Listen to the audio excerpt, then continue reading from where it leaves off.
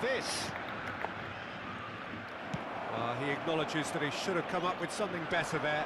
Yeah, the idea was right, the delivery wasn't. They can revisit that further on.